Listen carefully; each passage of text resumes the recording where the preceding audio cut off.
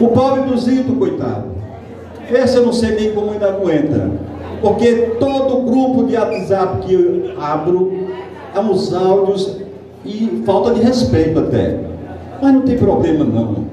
Eu, graças a Deus, Deus me fez correto.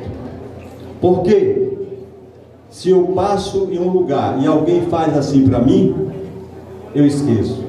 Agora quando alguém faz assim para mim, eu não esqueço nunca.